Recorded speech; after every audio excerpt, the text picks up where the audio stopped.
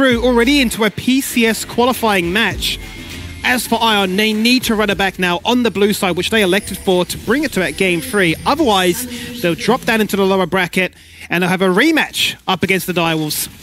Yeah, and while this is going to be a, a, lot more of a stable early game, there still is that level 1 advantage for the Ground Zero side. Volibear is a really, really strong top side champ. If they do want to invade onto that blue buff, level 1, Karthus Volibear will win that 2v2 against the Renekton Zyra, but if there's going to be that bot side invade, could be a bit more, you know, of an even trade, but I'm still going to give it to the Karthus again. And is this going to be another invade coming out of Ground Zero? Because they're playing so aggressive all over the map right now. So aggressive and not grouped up. That's the big tell, right? It's the fact that they are fanned out as five, but they're not afraid whatsoever. They really are saying, what are you going to do? Like, we're in your face. I doubt you're going to make anything happen as a result of this one.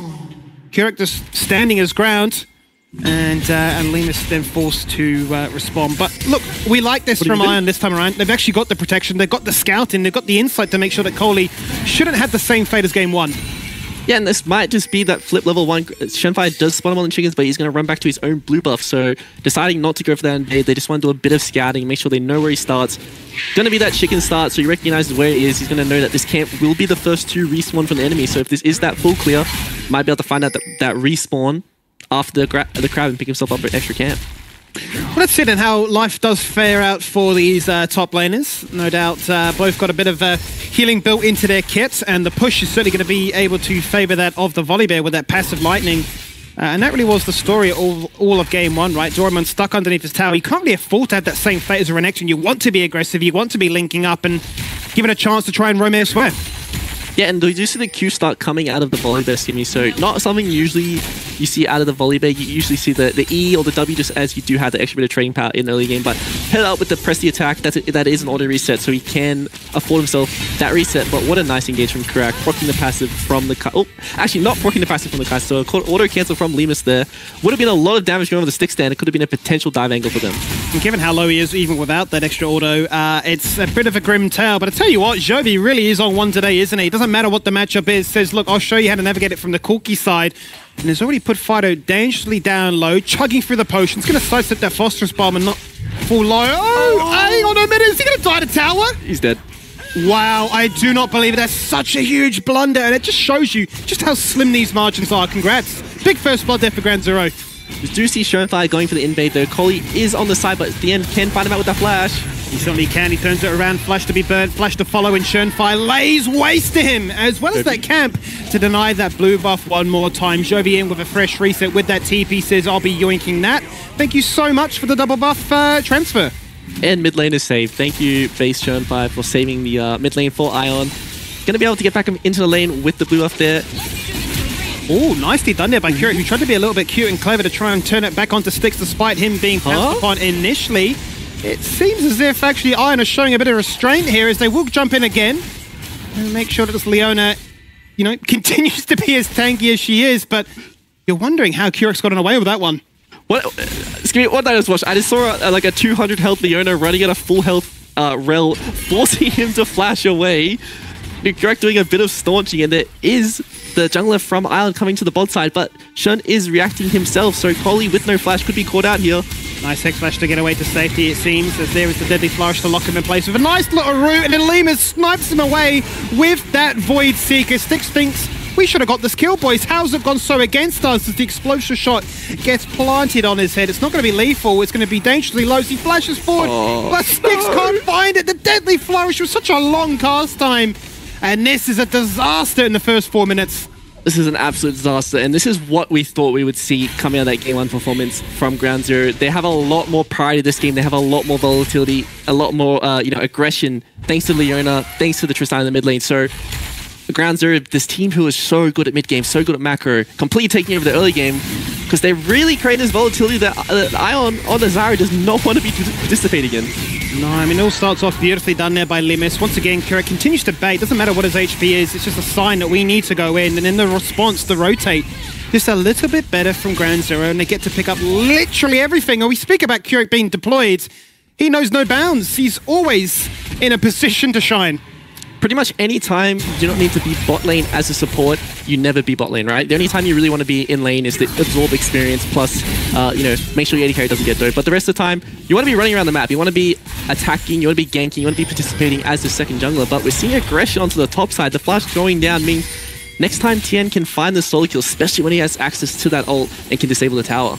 Yeah, that Thundercloud's a little bit too scary and Doraemon taking no chances whatsoever. This makes it very scary as a whole for the entirety of Ion because now nobody has a flash.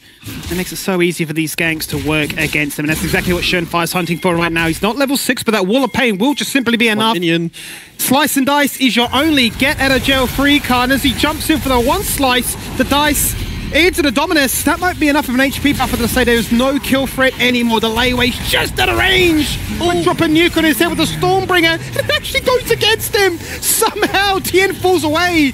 And Doraemon says, I can bait these fights out just as well as you can. A fight also taking place bot lane in a straight 2v2. And then Doraemon says, I want to get something. And that he certainly does. What a play from Doraemon. I did mention he was one minion away from that six, got the Dominus, kites that one out perfectly, dodges the Skittles as well. It's just the one thing you can do to outplay that card is, you know, a lot of his damage can be avoided. So Collei does rock up, counter games, picks himself up the kill, and now, you know, there is that bridge in the early game that they have been able to band-aid Ion are back in at Skimmy. That they certainly are. And whilst we look at the spot lane and two supports are saying, look, I'm in a bush, you're in a bush. Look at us. We're both trying to go back to base, but neither of us will let that happen. So both AD carries come back in. And I think all things considered, you know, Stick's done a pretty good job actually to beat down two deaths, but still be ahead in CS. Yeah, this is just really thanks to what the wave state was like, but we will go into that 2v2 and see. More than likely, this was the aggression coming out of ground zero, but with the minion wave, uh, with the fact that all the CC lands onto Lemus, there is going to be that trade coming out, and you would always favor the carry, uh, you know, getting that trade, especially the fact that Lemus was the one to pick up the kill there and not Stix. Yeah, another kill going away for Hexflash.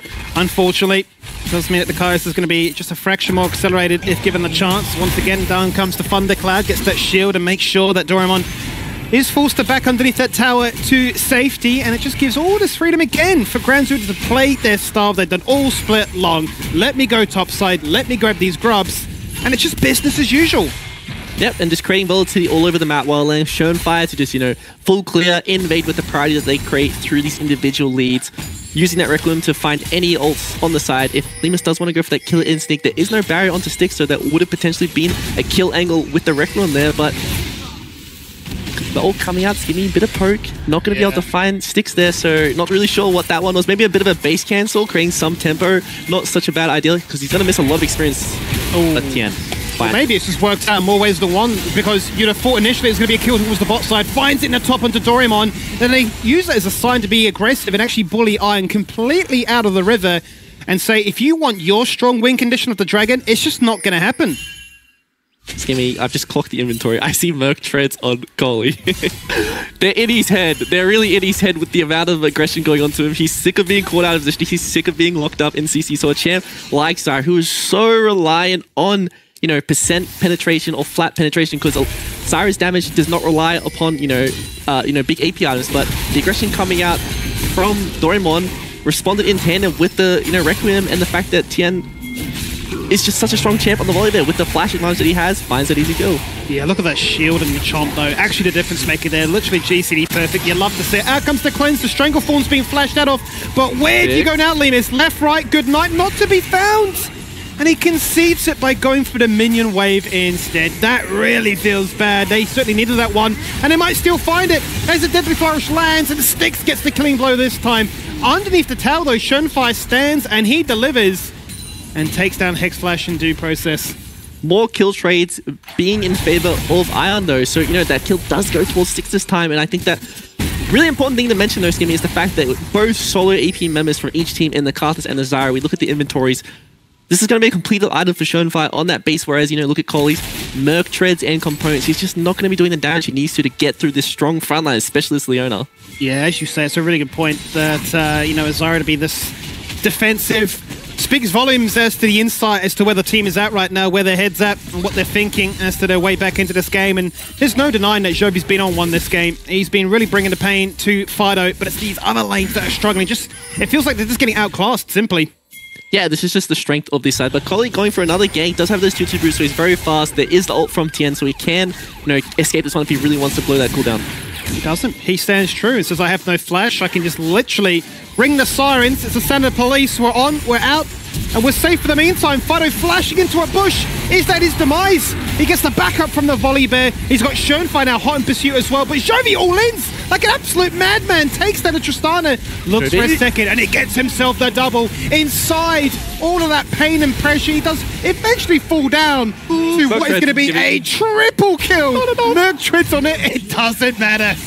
That extra bit of magic resist I thought would have been a difference, but Shernfire already so fed, has that first item completed, paired it up with the Dark Harvest, gonna be able to find that kill on the Collei, so even though he does have a defensive item in the inventory, it really doesn't matter. And out of this Volibear build, as you mentioned, the Rod of Ages picked up first, the Flicker Blade looking like the second pickup thereafter, and then you've just got so much damage of all that CDR that you wonder, how do we shut this Volibear down at all? Forget that for a second, because that comes to Solar Flare. As Kirik just goes for a wide roam to see what he can find there. And no matter the, the bot lane states, Kirik just always looks so scary in Leona. He always is aggressive. I've never seen him play back or, you know, concede priority. He's always making sure he is going in. But, you know, the main scare point for Ground Zero, oh, for Ion this game is Fire on this Karthus right now. I haven't seen him play this one the entire uh, split. You know, this is the nerf patch, right? Karthus did receive that Q nerf on 14-13. Fire mentioned how he did not really like the clear speed of this champion, but this is a champ who can completely take up the early game because he is a mage who is really aggressive and really strong in the early game. So this might be a better fit for Shernfire in the uh, in these games because he can play the scaling mage who is really strong in the early game and can take over fights just like this one. Like you mentioned, also might be a sign that you don't need to ban me because I have so many different champions in my arsenal. All these AP mages, they're going to feel the same for me. But in goes Hexflash with that two-man Magnet Storm combo beautifully with the three-man knockup from the Zyra. And surely this is what have been hunting for all 12 minutes long. They've equaled the kills at 11 to 11, and they've taken down two in the process.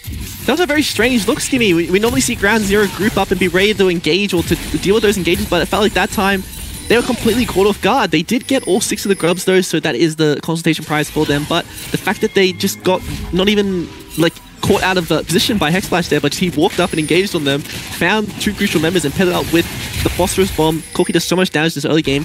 Gonna be able to get that Triforce on his recall. This is the first Dragon going over to their side as well, so a little bit of the, uh, you know, they're buying themselves some time to scale, deny the enemy getting that soul point, but we do go on the replay skimmy, and this is just the straight walk up from Hexflash into an engagement. Wasn't even a flash coming out of him, so very surprising that this wasn't, you know, the usual ground zero we see. Yeah, it just felt a little bit too simple, to put it bluntly there, as, uh, well, that one also, I suppose, as uh, we come out of the replay. And Tien, yet again, has found himself amongst the headlines. That's kill number seven for the solo AP Karthus. And certainly a series for Shernfire to mark his authority in that position. Yeah, absolutely, and that's going to be first tower going over to the end. Five plates picked up as well. Huge amount of money going to his pocket. He's going to be able to build towards those flicker blades that we keep talking, you know, about being this big item on the Volibear, or you know, maybe this is this is this is competitive, right, Skimmy? So maybe he's going to go for a a more simple build, a more team fight focused frontline build. Might not see that really strong duelist build that is much more proficient in solo queue, but I'm really curious to see what he's going to go for. Absolutely. I mean, he has the most gold in the game, as uh, uh, rather Shernfire, I should say, has the most gold in the game, and uh, still trying his absolute hardest to bring his team across the finishing line here. You can see in back-to-back -back games, set in second, really doing all his team can ask of him. But it's uh, that invitation to say, when do we feel strong enough to group up as five? Because as we went into that pause, it was the case of them lagging behind a full item into their counterparts of Ground Zero.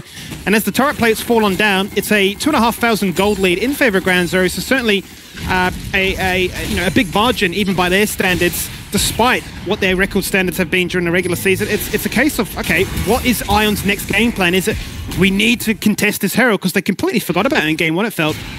I think that Herald's is uh, it's quite an overrated objective when the tower plays do fall down skimmy. It is nice to break open the mid tower though, you know, making the map more volatile for the enemy team and the fact they can't walk up so far mid lane is always nice, right? But overextending and forcing and losing side lane is never worth it. But TP's coming out, Jovi being aggressive on mid lane. Fido TP's into mid wave on that ward, instantly jumps into Jovi's head. Buster shots him into the team and acts like a mid lane Lee Sin. You absolutely love to see that one, but in we go then. Drop the curtain, go for the kill. Insta gets interrupted. There's only one shot getting fired there, but in comes Tien, dropping the thunder, claiming one and completely zoning the back line here of Ion. They can't stand up, they can't do the damage, and they can look at Lemus, but that's about it. Stick's doing so much damage here, you know, no one can really get onto him, he's just able to shoot and do oh, so much from the backline here, but the main threat of Ion taking out straight away Skimmy Jovi didn't have Flash or Valkyrie because he was playing a bit too aggressive there. Really nice TP from Fido, but this is the disconnect that we talked about in the mid game, right? It's Jovi being by himself on the mid wave where the rest of his team is in that river being aggressive, and there's no one who can really back him up here. Whereas, you know, Ground Zero has that initial collapse first because they have control of the river and they find that pick onto that main member of Ion. And from this point, it is so hard to build, especially when that main engage is blown onto a Karthus, who is quite happy to die in these fights. Yeah, it certainly is to be the case, right? Nice stun to lock down the uh, Jhin at the start of that one to make sure that he couldn't play uh, complete cleanup crew. Here goes Jovi that once again says, you know what, maybe my time to shine against Okay. the bear. And he claims it. Also cops a Requiem, and he just shrugs it off. Okay, beating the bit on the side lane. Never mind, hold my points, Gimme. We're going in mid lane. We are going in again. There is that killer instinct, true to its name and its fashion. Gets the job done, takes out sticks for 20 seconds. And even with that locket, Oh, no. it just did not prove to be enough. Fido now looking at the stragglers, looks at Coley and says the explosive bomb is ticking, but it's not enough. Giving a lot of respect to Jovi there. If he did continue to chase in the fog of war and got hit by those roots, it's going to be a kill going into Jovi. So got his two kills that he wanted. Going to walk and clear up that wave. So very nice by Fido. I think this is the fighter that we're really used to seeing, right? Not such an insane laner, not a you know a player who's known for taking over games from laning base, but he's someone who is so good in team fights and is so good in the mid game. I think his positioning, uh, you know, his his prowess when it comes to the side lanes, when it comes to team fighting, is probably one of the best in the league right now. Seems that way, doesn't it? And, uh, you know, long may it continue because it makes for a very entertaining match, that is for sure. You can already see, and uh, uh, much like we anticipated, right, there will be that flicker blade, so no need to try and adjust what would be a very solid Q style of gameplay when it works so well for them. Nicely done in Manchurn Fire to snipe that one away as he works his way towards that second completed item in the Liandry's. And it's a good talking point then to say that, uh, yeah, Lemus also matches the two item power. He's got the static, he's got the rage blades, and this Kai'Sa is absolutely an issue now. Yeah, and I would say the Ground members are online. If not, the whole team is at their you know major power spikes you are seeing right now. Whereas you know Ion still need a Mirror Matter to come forward for that call. He still still need him to the edge on the Jhin. We are seeing the locket on the support this time, so it's really nice to be able to deal with the Karthus ult that's going to be coming out. But we're not seeing those major item spikes coming out. But we are seeing a teleport coming forward, Skimmy. Here's Doraemon with the flank. He does have the flash. He's looking for the target. Instantly pounces onto Lemus, who holds his claims for just a second there, wondering if it needed to be used or not. They'll turn it around, and Doraemon is that lamp to follow. He is the first one on the chopping block. But that's a disgusting Stranglethorns. What is that knock up? All corralled into one big spot, and the Requiem to take at least one to the grave with them. And the fourth shot does land, isn't going to do much damage just because you do not have that Infinity Edge in your inventory yet. But what an engage from Hex Flash and Coley doing so much damage there. Fido staying around a bit too long. Almost Ooh. falls down there, but Lemus. Lemus says it's my time to shine. I really got zoned out from that fight from the get-go. Does he die as a result? No, the supercharges out. Jovi with the flash! And he claims it! And I tell you what, if you could already vote for a MVP, I mean, Jovi really is trying to do this all on his own. Shut down Skimmy. Jovi is having, you know, I would say the series of his career so far in both these games. Even though the first one was a loss, tried his best. And in the second game, doesn't have those power spikes yet, but he's doing so much. He's going to stay in this pit, try finish this dragon off. No, No way. Oh! oh my god, I saw 65 HP in my heart. Flooded Oh, no. for a second, thinking there's no way Curex steals on the Leona. Inside the bush they go. Fido says you can jump. I can jump too. Surprise, surprise. Have your second dragon, but we'll take two instead. This is, yeah, once again, the classic fighter. Using his TP, finds those cleanup kills, gonna be able to get himself the Infinity Edge on that reset thanks to that now. But Manamune being completed for Jovi, we're not seeing the rest of the two irons coming after the rest of his team yet, but they are winning these fights with nice engages, so Doraemon does have the ult here. He certainly does, and he's going to have to use it because he needed HP. Comes in clutch at the very last second. Oh no, Fido, he's jumped in early. He does get the kill, but Hex Flash is there, but Arel does literally zero damage. So what can he do but stand there and say, Team, where are you? And they're not to be found, Telly. They are simply not there. And his team is absolutely nowhere to be found, because they are dead right now. So TP coming out of Jovi does not have the flash, gonna walk right into a correct stun. See then what Jovi can do. He buffers that one quite nicely on the Zenith Blade, not to connect him on that TP, just a fraction too early. Hexflash eventually dies. Shernfire limps away in 25 HP. It's a crime. It's illegal. Fido has dashed the wrong way, right into the firing lines of this Corki, and now the Requiem is there. Oh, he's gone. on.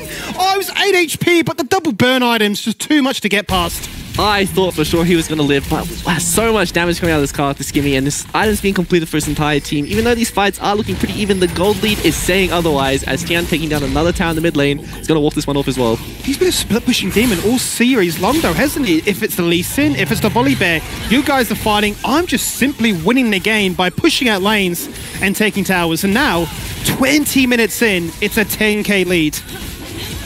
And this is what Ground Zero is just so good at skimming. A lot of these fights are being traded evenly, right? But the waves are always pushing for their team. They're always making sure the camps are dead before anything happens. Shernfire is always clearing camps, stealing away camps when other people show on the map. So there's just gold being taken already and nothing to really be denied when these fights happen. And this is the power of the Volibear in the mid lane when he gets that initial Oh stun. my- powers up those auto attacks. He just has no cooldowns. Flash was burnt. Did you see it? Because I certainly did at the very last second. He flashed, he died in midair. The claws traveled through space and time. Oh, that feels like a crime to watch right there. But here we go again. I mean, it's a case of coming out of that replay. Six stacks in the Dark Seal, a Rabadons to rub salt in the wounds. This Karthus is at true damage levels. does not have the Requiem quite yet. It's going to be about 20 to 30 seconds before that one is off cooldown, and it's going to do absolutely criminal damage to the Ion side. They do have the Locket this time, so there's going to be some damage they can mitigate, but when this one does go off cooldown, expect shown by the call engage for Kurak right now. Let's see then where they draw their line in the sand as they get pushed further and further back towards their base to Ion. Their defensive line of vision really quite limited. That cheeky one by the Baron Pit itself, nicely found by observers. That to be denied as well. And have to fight it. pretty much near on spawn. The Baron is being looked at. It's going to get taken. What can Ion do to turn this one around? Nowhere near enough in range to make sure that a flip were to take place. Hexflash engages, finds a two-man lockdown with that Magnet Storm, but will be the first one to fall on down as a result. They're going to turn their attention to Jovi, and no matter how strong he is, he's the second casualty in this affair. It could just be a very clean ace at this point. Yes, they've lost Shernfire, but it's just reset City. And 22 minutes in, it's an ace, and it's looking like the game is being rested to bed. And what an easy Baron take from Ground Zero. They recognize Cole is out of position, does not have a champion who can get to the pit easily without, you know, the gap closes. Zyron has flash able to steal that Baron, so easy pick up from them. Shernfire falls down, is the main target for the team, but he has the Requiem. He throws that one out and he half, he does pretty much the entire enemy's team health, or health bars, takes them out. And it's going to be an easy push for them to be able to take this game, Skimmy. Incredibly quick way to close out this series in a best of three fashion. That will be the clean sweep 2 0 done on the day for Ground Zero as they continue this undefeated streak. And I'm sure the question for a lot of people is will it ever run out? I think there was, you know, signs of weakness this game from Ground Zero, right? We saw that there was trade uh, kills being traded, them getting caught out of position in these fights. So obviously not an insanely clean performance that we have seen from them in week past, but a very easy win for them, and they were pretty much uncontested. They did not have to show any of their hidden cards yet, and they're going to go into their next series with pretty much everything up their sleeve still. That they certainly do. Yes, there's a little bit of craziness from Tien to try and get himself uh, maybe a bit more entertained after spending an entire split of playing the same champions. But either way,